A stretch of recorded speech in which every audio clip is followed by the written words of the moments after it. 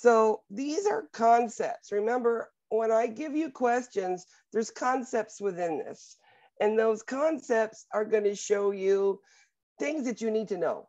You know, as I've told you, you're going to see ABGs on there. I saw four questions last semester. Another thing you're going to see is your growth development Erikson, your Freud, your Kohlberg, Piaget. Make sure you review those. There's four questions there. And math, of course, is always about the same. So if you've done well in the math, you're good so far. You'll be good for the um, for for if there's anything in the HESI. The HESI is usually very very easy. At least Perfect. what I've seen in the past. Professor yes. Bogart. And the Kahoots are amazing, but I didn't know if there's any way you have like a Word document that we can print we, out and study that eh, way. I have one of my other professors um, fixing or redoing, making better a PowerPoint. It should be done by tomorrow, and you'll all get that PowerPoint too. So you will have a written PowerPoint with information you can go over also. Okay? Thank you. So you have everything you need. All right, let's go ahead. Let's get started. I still don't believe it's HESI time already. What is probably the single most important influence on growth at all stages of development? And if you don't know this one, I've said it a hundred times. And I usually say the word over and over and over and over and over again. Because without this, you don't grow. Your cognition is gone. Nutrition, nutrition, nutrition, nutrition. Very good. I think I've beat that into y'all's head. Frequent developmental assessments are important for which reason?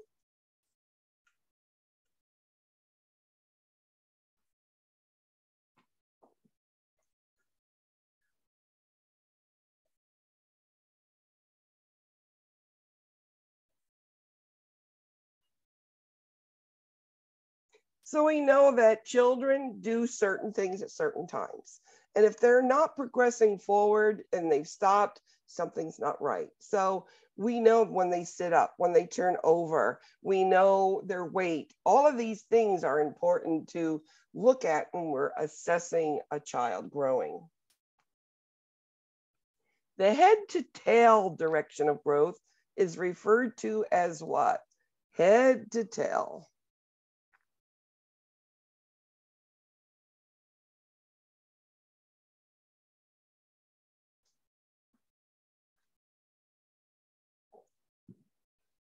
It's called cephalocaudal. Cephalo, right? Cephalic, right? Makes sense now. Head to toe. I mean, on the exam before, we could the sequential trends, yes, but this is growth. How do we describe it? Head to toe. What is the single most important factor to consider when communicating with children?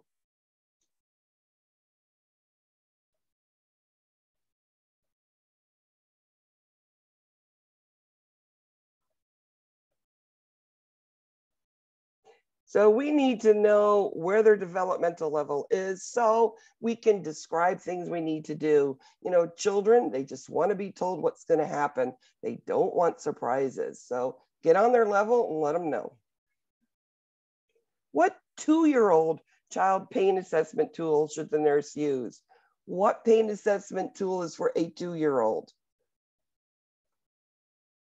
I put this one in here because most of the time you're wrong. 50% of the students. And again, you're wrong. It is FLACC. FACES are preschoolers, three to four year olds and um, up. We know numerics about eight years old. FLACC is nonverbal. So it talks about the way that their face and the grimacing and their legs and their activity and consolability. Those things really will tell you, you know, about their pain. So three-year-old faces, two-year-old FLACC. That's why I put it here because I know what the outcome would have been. What is priority treatment for a child with dehydration due to profuse vomiting? So you got a kid dehydrated, which we know dehydration, you know, is really dangerous in children. and they're vomiting. So how are we going to treat it? So we don't want anything in their mouth because they'll continue to vomit. We want IV fluids, then give them the antiemetic, you know, ondansetron, the Zofran, and then slowly introduce liquids back. But IV fluids, get that volume back now. The first expected fine motor developmental milestones for an infant begins with what? Remember F, fingers, fine. G, gross motor, get up and go, go, go.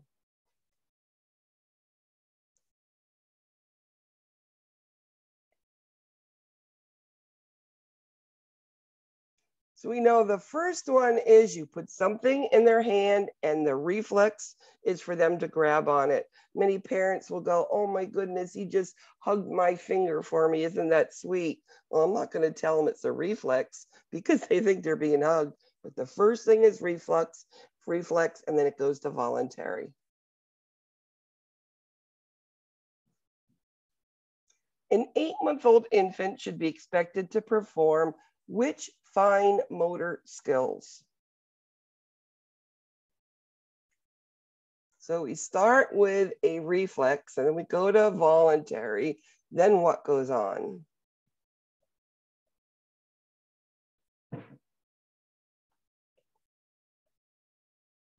So then it's the crude pincer. You know, we take the little Cheerios or those little puff snacks they have today, and they'll take and just smush a handful to start with, and then they'll get to be the fine.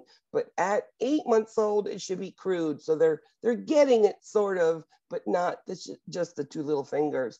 As we get older, it's the blocks of two and putting in container at 11 and 12 months old. In general, an infant should triple their birth weight at what month of age?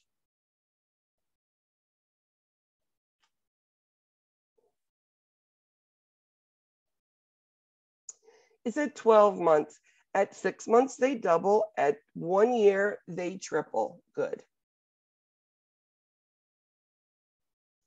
RN is assessing a two and a half year old toddler should report which finding to the provider, which means something's not right.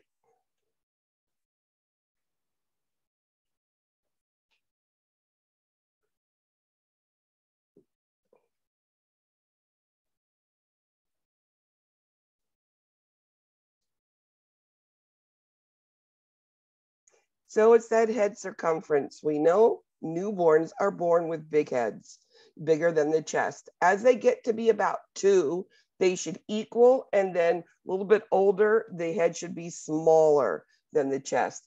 And if it's not, and if it's bigger, what's going on? Is there hydrocephalus? Is there a tumor? Something's not right. We need to investigate that. A two month old infant has cradle cap. What should the nurse tell the parents to do to treat it?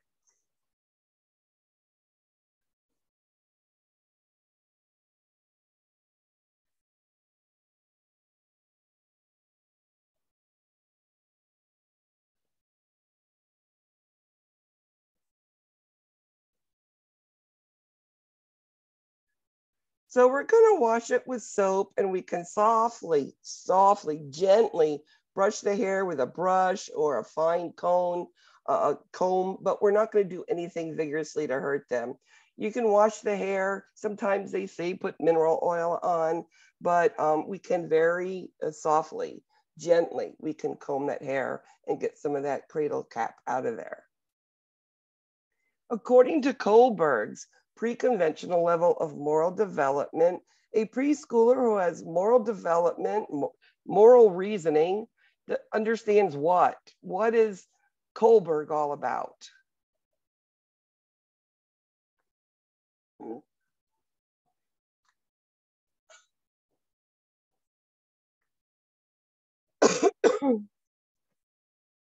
so we know Kohlberg is all about children knowing especially preschoolers ages three to four, they know right and they know wrong, but they know that there's a consequences for the right, which means it's a good one, and wrong, they know there's something, a punishment, that consequence for the bad. So good and bad is what they understand.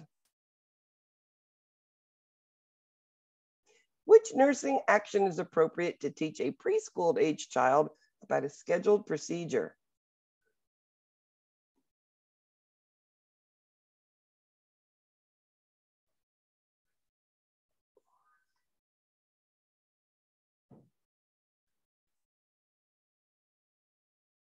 So use a doll, absolutely. Let them touch the equipment, let them play with the equipment, have them take a blood pressure on you, whatever needs to be done. Make a child not have that stress. Make that equipment familiar to them. Before performing a physical assessment on a toddler, the nurse should do what to encourage cooperation?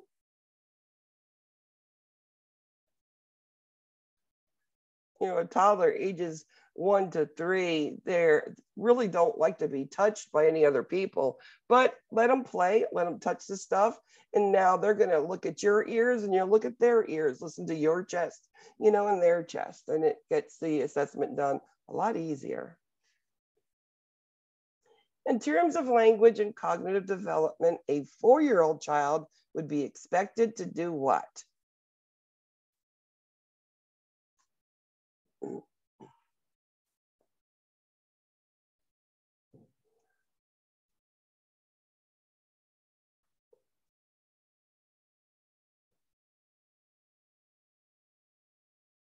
So a four-year-old, they should be able to follow simple commands. Put your shoes by the door, put your dirty clothes in the laundry, put your glass in the sink. They should be able to do that. That's a simple command. Parents are concerned her eight-month-old child is not developing like their older child. What is normal for eight months?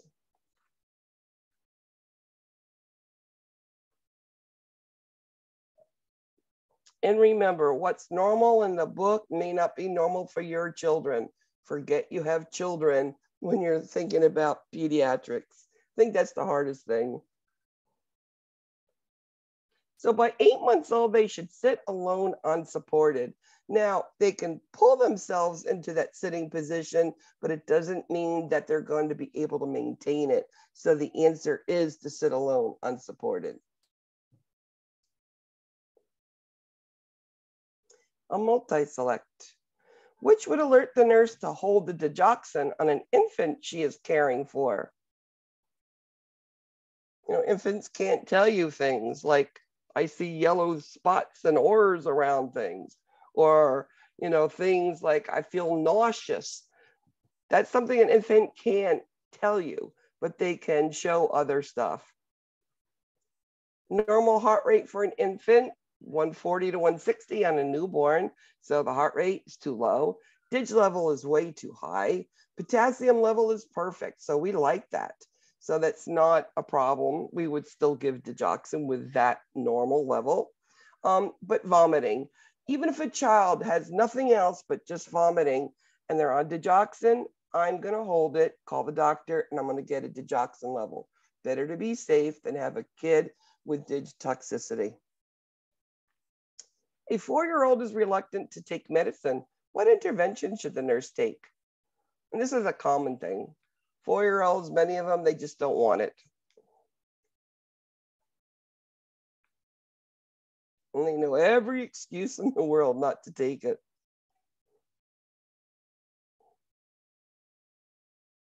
So if you walk in and say, this is your medicine, would you like the liquid or would you like to chew a pill? Maybe you have those choices for a four year old. And if it's just liquid, do you want it in a cup or would you like it in a syringe? Straightforward, no choices but to take the medicine. That's what this means. Because four year olds will do everything not to take it. Which concept reinforces the development of sense of trust for an infant? You know, talk about trust. We're talking about Erikson trust versus mistrust.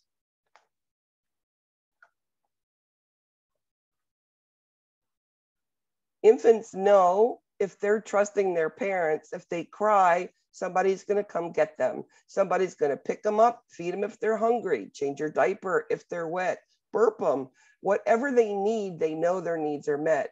That mistrust infant wouldn't be crying like that because, you know, they've already tried so hard and nobody's listening. So they become more apathetic that if they're hungry, they have to wait. And this is abuse for an infant. So if a child's not crying when they're hungry or when they need things, it's actually a red flag for me. An infant is NPO unable to take breast or bottle for feedings. What's important to remember for this infant? When we need to maintain normal growth and development on these children.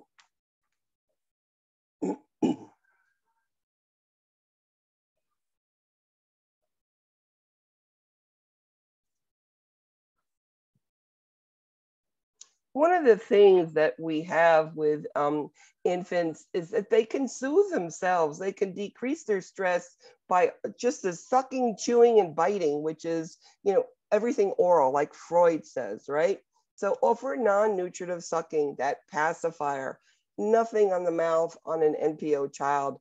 Um, it could cause aspiration pneumonias, if, especially if you have a child uh, like has a tracheal esophageal fistula, it's going to go right into their lungs. So nothing in the mouth. We're going to give a nice little pacifier and they can self-soothe, which is what we want.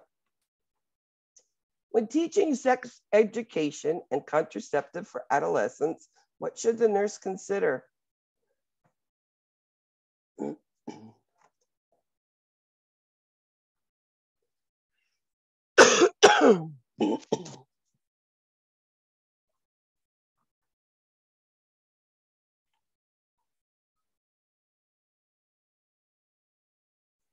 So teenagers, how we teach them is number one, keep your biases and opinions away from it and only offer them oral and written information they can go back to refer to. So this is the way that we would teach them about it. So if they have something written, they can go to refer to it instead of going to their friends, etc. The monthly immunization for RSV respiratory syncytial given to those uh, immunosuppressed children, given to cardiac, premature children, children with respiratory issues. It's usually given through fall to early spring, and it's Synagis or palivizumab. And this helps prevent them from getting this virus. And the only thing with this virus is it's hard to suck, swallow, and breathe. So now you have this extra mucus in the airway and it's very difficult. So we don't want it for those children. So we give Synagis to prevent that. A child, an infant with hypoplastic left hearts becoming tachypneic, taking a long time to eat and requires rest. What assessment is priority? When you see these symptoms, what do you need to assess? What do you think is happening to this child?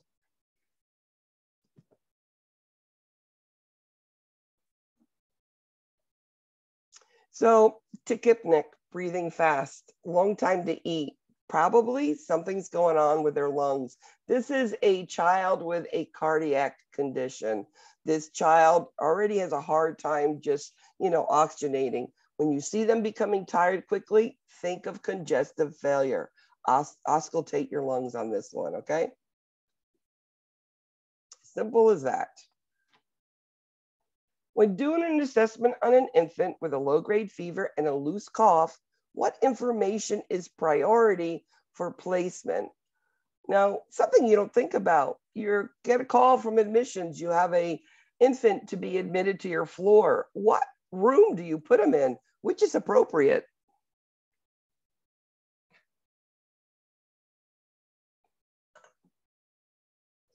So if I know the immunization status, that they're up to date, put him into a room with another child with a loose cough, which is just upper respiratory, it would be a good choice. If I don't know immunization status, I would pick another room for that child to go to. A three-year-old is brought into the ER with increased wheezing for the past two days. The child is using an MDI. What is the most important information you need to ask? They have one of those meter dose inhalers and they've been using it and it's still wheezing, getting worse. Well, did the child get it? The kid's three years old. Did you use a spacer? Did they get all the medicine? Very good. multi-select. What is included in the plan of care for a child with cystic fibrosis?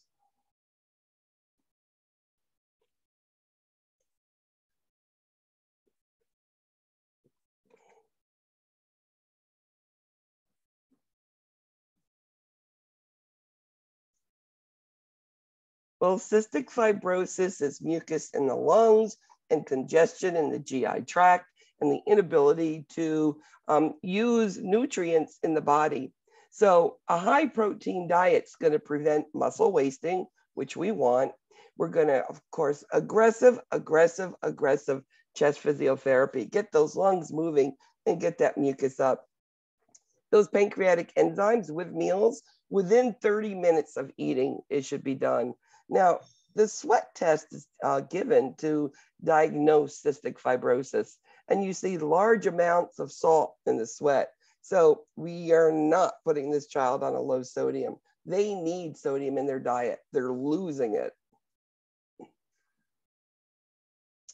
Which information is most important when rheumatic fever is suspected?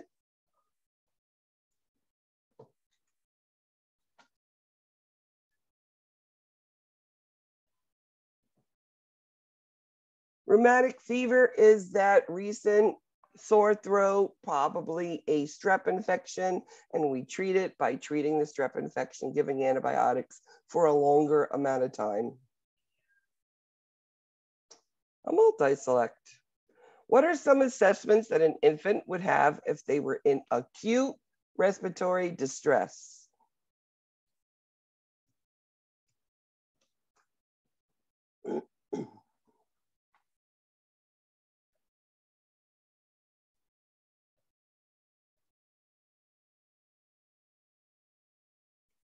So you would actually see abdominal breathing, not diaphragmatic. That's actually what you should have. It's more abdominal breathing fast, but nasal flaring and then they're grunting. I'm scared. As I said, I hear an infant grunting with the flaring, they're going right to the trauma room. They are about to give up. They really need aggressive, quick care in order to prevent intubation on these children.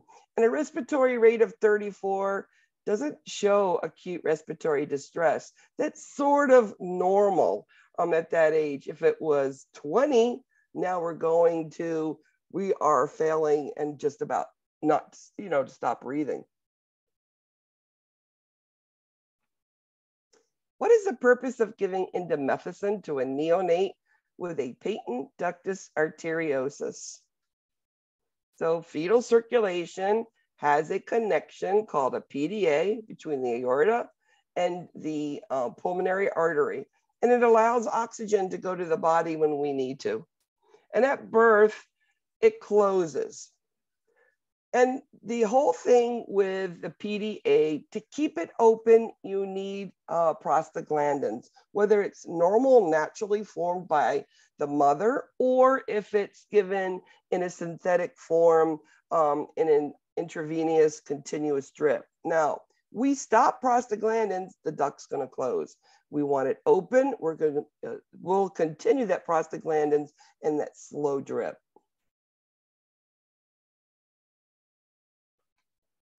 What is the greatest risk factor for a newborn receiving a cardiac catheterization?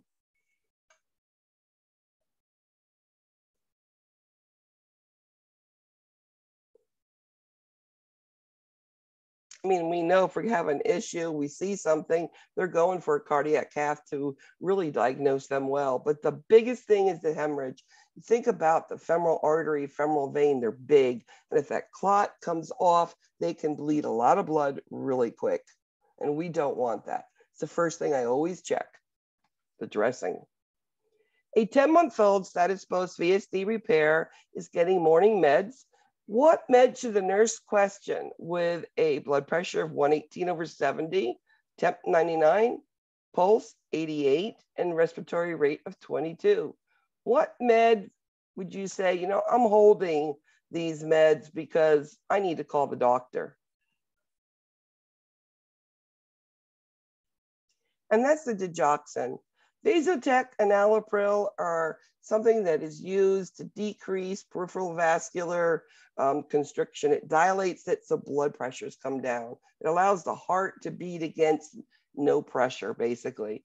But digoxin lowers, decreases heart rate, so it's already too low. We're going to stop it, probably do a dig level. While assessing a newborn infant, you notice decreased femoral pulses bilaterally. What nurse action should be next? You just got the newborn right from the mom into the nursery and you're assessing it. And you see those femoral pulses are really weak, really decreased, almost non existent. What do you do next to confirm what you think is going on? If you have femoral pulses that are not there or really weak, think of coarctation of the aorta. And the way to diagnose it and tell the physician is that four extremity blood pressure. The uppers will be higher and the lowers will be lower because a lot of blood can't get there. Really good. Good job. How do you get an adolescent to open up about their sexual history?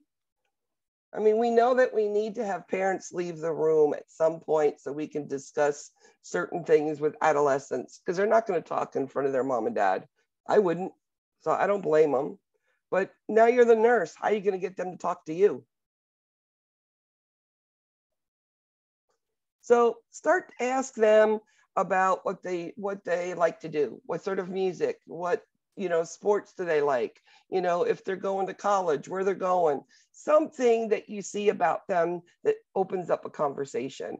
When they feel comfortable with you they'll tell you so many things and actually more things than you want to know. The thing is not to look like you're shocked with some of the things that they do say. A multi-select when educating adolescents about risks for HIV and hepatitis, what would you include?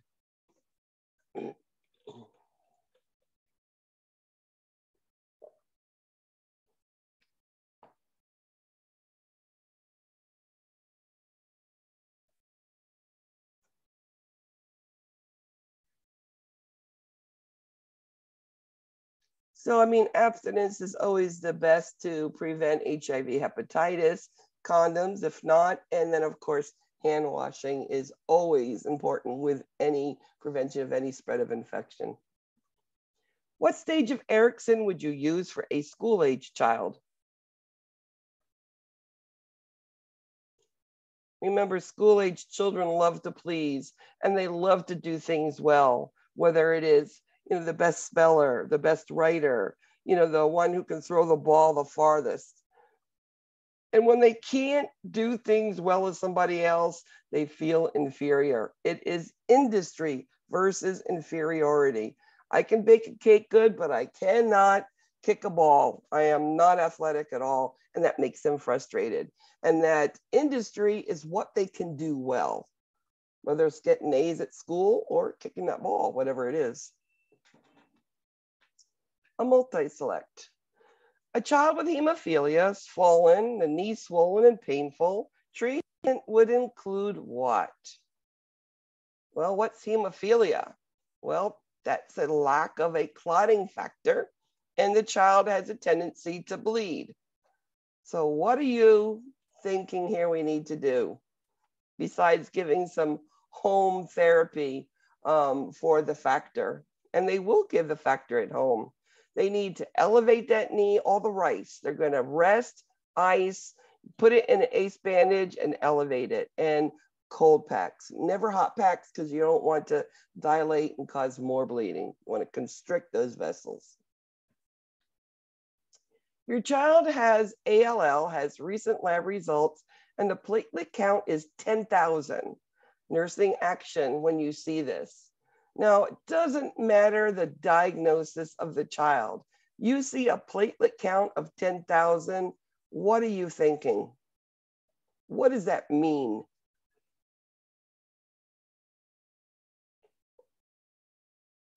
Platelets have to do with bleeding coagulopathies. This child is at high risk for bleeding. So yes, place them on bleeding precautions. Good job. A child starts with a nosebleed for no reason. What action should you do first?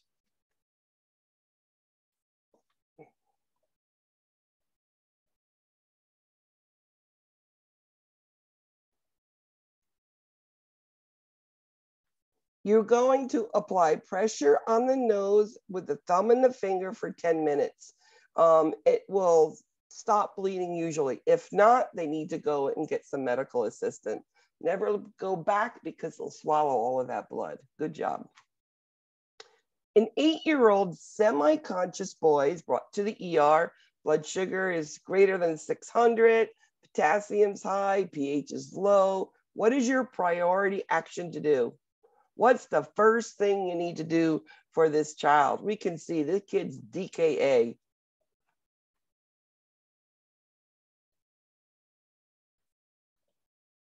So we know that this child needs a normal saline bolus right away. And as we're doing that, we're going to need to give some regular insulin IV and slowly bring down that blood sugar. So fluids is number one and then with the fluids, the insulin. Seeing kids go from pale, semi-conscious, giving a bolus of fluid, little bit of insulin, all of a sudden they're awake and alert and pink and they are themselves again. A child admitted for hypoparathyroidism, what findings would you see that need to be reported to the healthcare provider? Well, the parathyroid regulates what? That's the question here. And when you figure out what it regulates, you can figure out what symptom here says there's something going on. And it's all about calcium. The parathyroid has something to do with the regulation of calcium in your body. If you do not have calcium in your body, you're going to start seeing this muscle weakness. And that's the beginning step. So if we call the healthcare provider, do a calcium level, we can immediately give a supplement to it and prevent further weakness. So the parathyroid, think calcium. A child has Kussmaul respirations due to DKA. The increased respiratory rate is trying to compensate for what acid base alteration? It's trying to compensate for what acid base alteration?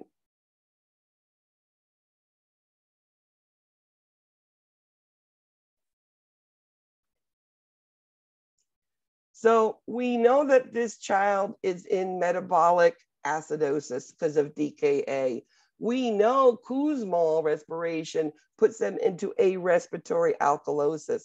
That is to compensate but we know that Kussmaul, we're breathing that way because we're trying to, the body is trying to correct that metabolic acidosis. As I said, please go and revisit your uh, ABGs for this, HESI. When talking with an adolescent regarding personal health concerns, which is most important?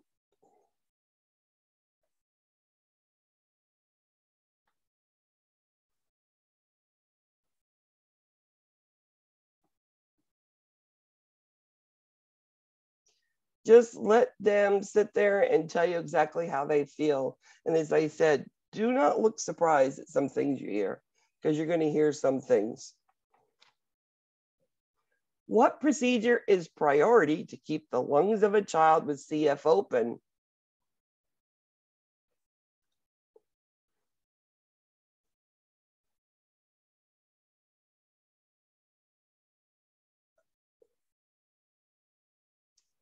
I think with cystic fibrosis, the most important thing with children with these lungs that are clogged is that chest physiotherapy.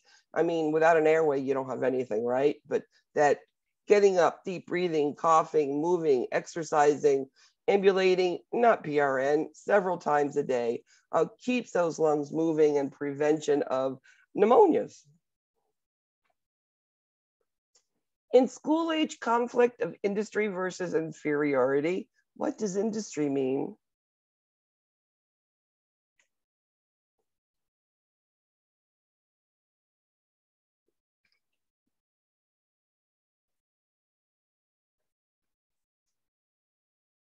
So the industry is what they can do well. Okay. That's what industry is, whether it's kicking the ball, baking a cake, um, writing the best, the best speller, the best math, whatever it is, that is the industry. It's doing it well. The inferiority is what they can't do well. They'd like to, but they can't. That's why they feel inferior. Contraindication to administering the varicella vaccine to an adolescent. Well, what is a varicella vaccine? It is a live vaccine. What are precautions we know about that? Doesn't matter if it's an adult or a child.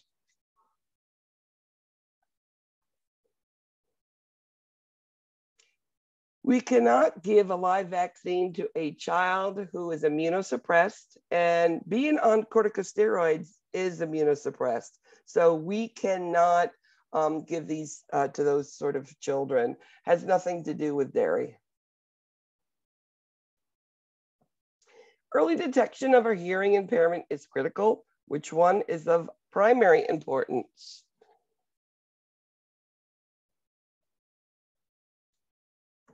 So we worry about speech. If you can't hear, your speech isn't going to be as clear as it should be. In helping a child to adapt to a hospitalization experience, the best approach is what?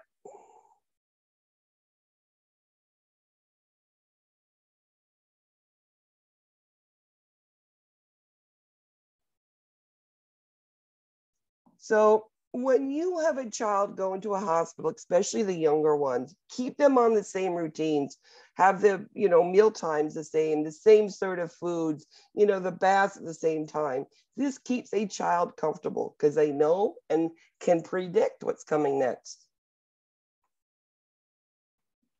When assessing vision on a child, the healthcare provider would use a Snellen chart at what distance?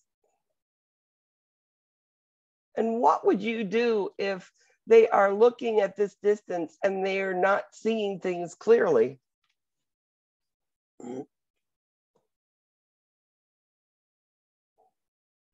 So it is 20 feet. And if we don't see it clearly at 20 feet, we know there's going to be some visual problems. So we need to tell the physician about that. Referrals for cognitive impairment should occur when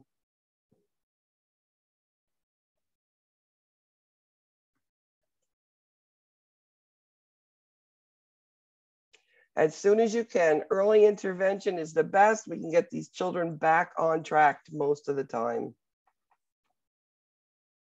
How would you help encourage a preschooler to be less apprehensive when taking their vital signs?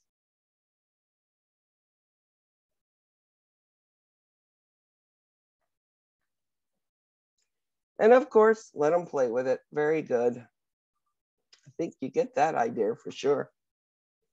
The nurse is discussing sexuality with the parents of an adolescent with cognitive impairment. What is important? You know, some children become adolescents and young adults that are able to live on their own, and they need to understand what normals of life is. If we have a well defined concrete code of sexual conduct, this child will know when a touch is wrong, when things are not the way it should be because they don't really understand it as clearly. So making sure they have this concrete code, they're not going to be abused because people abuse these children all the time. What acid base imbalance would you might see with a child having profuse diarrhea? Mm.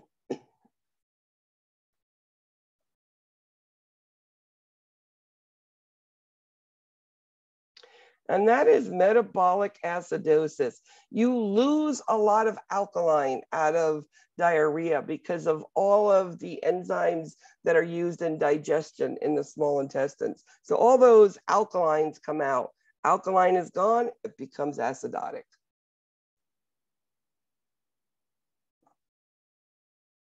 A multi-select. If an infant has not passed the meconium stool within the first day, day and a half, what would you assess for?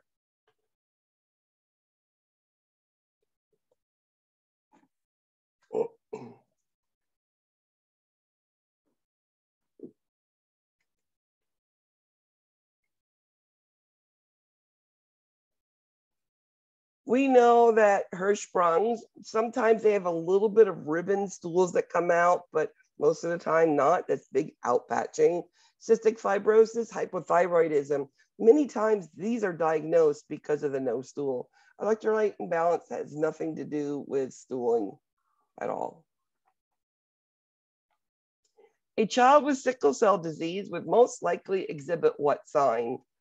I think this is what brings these children into for help for medical care, whether it's the physician's office or in the emergency room. And it's all about the pain.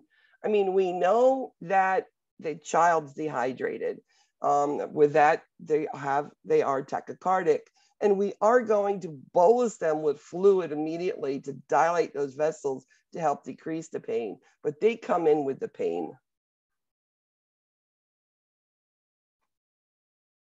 When teaching the child and family about celiac disease, which one of these food items is allowed?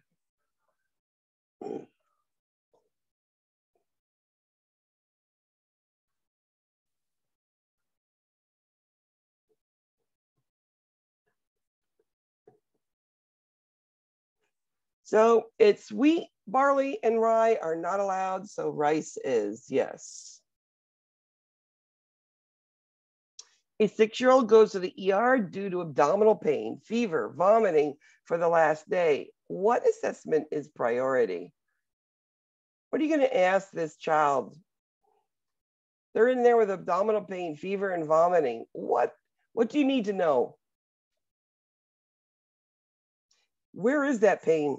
Is it an acute surgical abdomen? What is going on? We need to know where that pain is. Good. A multi-select. Signs and symptoms of hypertrophic pyloric stenosis.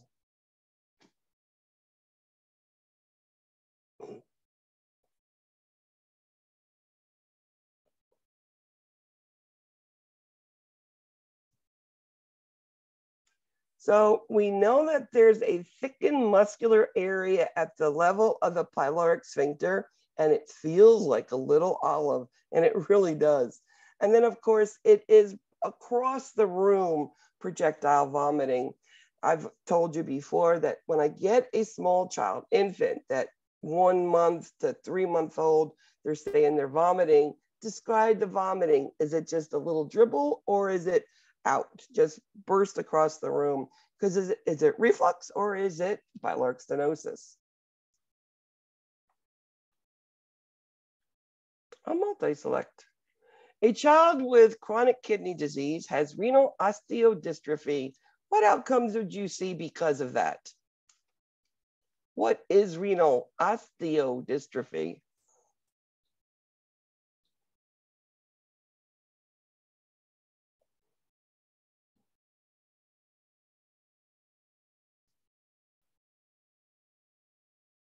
So osteodystrophy is a lack of vitamin D. Now, vitamin D has everything to do with bone and bone growth. If you don't have enough, you'll have bone pain, and then you your child's going to be slow at growing. You're going to see a smaller child. So that is osteodystrophy in a child, low vitamin D levels, and they'll be smaller. You suspect an infant has cryptorchidism. What would you, how would you examine this infant? And it makes a big difference in a male infant.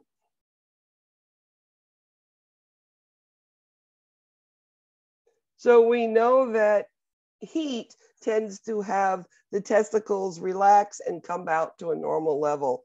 If the room was cold, they would pull back up. They're trying to protect themselves. So to get an accurate exam, have the child in a warm room and you'll get an accurate result a multi-select. What teaching would you give parents on how a hypospadias is corrected? I think the most important thing to think of is you have a infant and the uh, infant's family is Jewish. And now we have to take this foreskin and use it for other things. It's not going to be that brisk, that, you know, formal you know, thing that they do with removing that foreskin. That foreskin is used to remove that uh, opening underneath the um, penis. Epispadias is on top, hypospadias is on bottom. And then what they do is they take a thin sort of uh, tube, and it looks like actually those female straight catheter sets that we use. They're sort of sort of rigid but soft. We put it in there and we leave it there to keep that um, canal open and patent. All we're going to do is take a little gauze and put it on the end of it. We're not going to flush it, not do anything to it, but just put a gauze there and change diapers. That's all we do with it. A multi-select. Children with nephrotic syndrome are often given albumin and Lasix for fluid overload. What outcome do you want from giving those things? Remember, nephrotic syndrome has absolutely nothing to do with kidney failure. Nothing. Nephrotic syndrome is a kidney saying, this protein is here. I don't know what to do with it. Let's get rid of it. So they lose protein like crazy. So hypoalbuminemia, and you're going to see um, really um, high levels of proteinuria. Now, we give albumin, which is protein. We replace that intravascular space with protein. It pulls the fluid back into the vasculature from the interstitial space. Give Lasix, push it through. We should see that increased urine output, that edema should go away. And because of all those things, your blood pressure should also go down. Has nothing to do with a fever, nothing. A two year old goes to the ER with inconsolable crying and a painful abdomen. What findings shows you this is a medical emergency? Well, what are some conditions you know about a painful abdomen and inconsolable crying? What would be a symptom of one of those conditions? And this is intussusception. This is currant jelly stool. It's the one thing that's a little in the, di the diaper. Be currant jelly, maybe a little bit of blood in it, but this is like, okay, this is intussusception. How do we repair it or fix it? Well, first you diagnose it, ultrasound, take it over to radiology. We do that air. Um, we pump like an enema to pop it open or it goes to surgery. But inconsolable crying, painful abdomen at that age, intussusception. when assessing a two month old with vomiting, what questions should you ask the parent?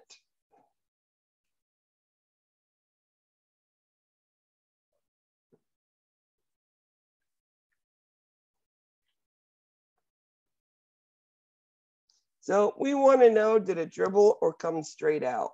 Now, if it just dribbled, we're going to ask how many ounces, how often are they eating, and if they're burping. That would be part of GERD. But when you see forcefulness, it's coming out, then we know it's pyloric um, stenosis. And the first thing we do is make them NPO. You notice a two-year-old child with congestive heart disease, the heart rate is decreasing. What other information is important to report to the healthcare provider? A two year old has congenital heart disease, that heart rate is slowly going down and down. a two year old with a blood pressure of 68 over 44 is not perfusing. This is something that's an emergency. We need to call uh, and get that healthcare provider and get this child on some support for that heart. Something is failing, something's not right a multi-select. When entering the room of a child, the child becomes stiff and arms and legs start shaking. Priority actions for you. What should you do? Mm.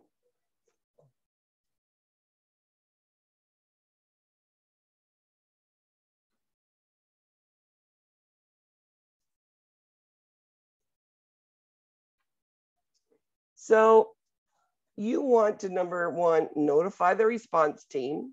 You want to turn the kid to the side, of course, any seizure in case they vomit. And you always are going to monitor the time and duration of the seizure. you don't want the parent to leave the room. You want the parent to be there to understand what they need to do in case there's a seizure. A three-year-old boy with waddling gait and falling is admitting for testing. What examination should you anticipate? Three-year-old boy, waddling gait. Let's go further. Lordosis, Gower sign, falling. They're coming into the hospital. What do you think this could be? And then what do we um, examine to sort of say, yes, it is that? And this is Duchenne muscular dystrophy. So when you see the gait falling, that means the muscles aren't working well. And we know Duchenne is a progressive muscle wasting. So the EMG looks at the muscle, the way it responds when you stimulate it with an, um, some sort of electrical current. Remember, these hurt. Remember that we do warn the parents they could be a little uncomfortable afterwards and that we give them something for pain. I mean, it could be just Tylenol or Motrin, but give them something. A mother calls the clinic about her child. She's playing in the woods and has a rash that is spreading. What over the counter medicine's good to give her?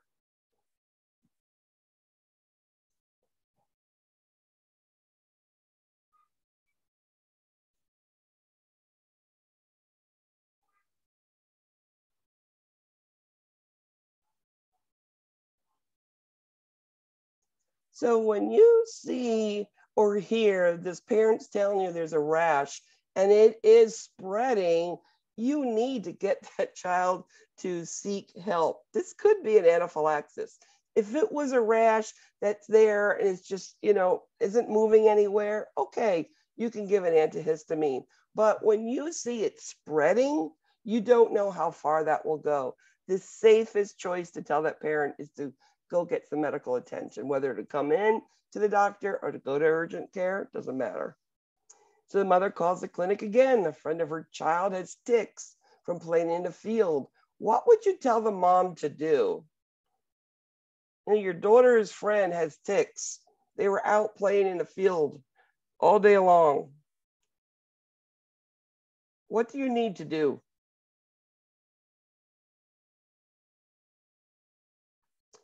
And all you do with when you're suspecting ticks, okay, whether you saw them or you've been told another child has, just examine the child for ticks. And if you see them, just make sure you get the whole tick out. And if you're having issues getting the tick out, of course, seek medical attention. An adolescent goes to the school nurse complaining of ringing in the ears. What exam should you do first?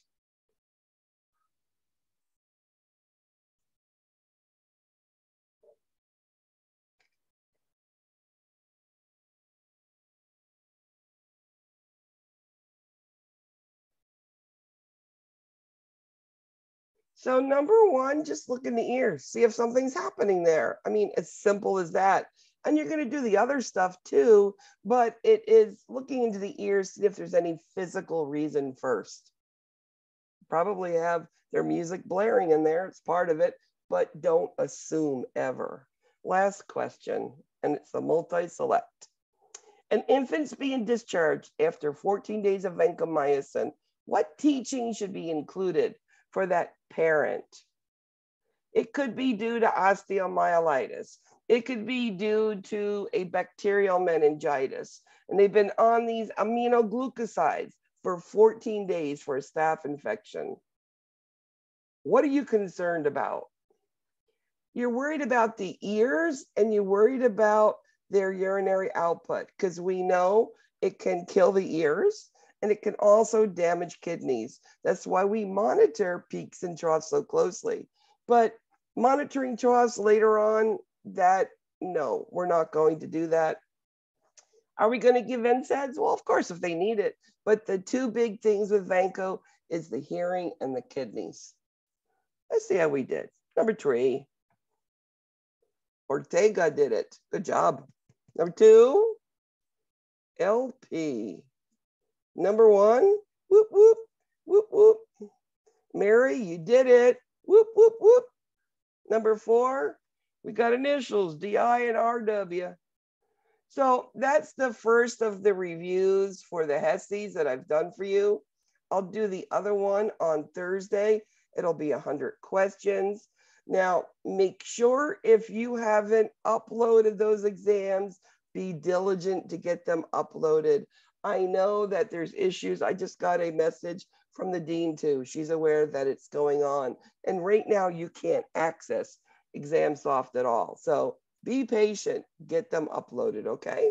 And I'll get Professor, you your, your exam grades. Oh, yes. Oh, I was gonna ask you that, like the preliminary, at least like when can we I, You've already sent me a message for it. I will make sure it's there.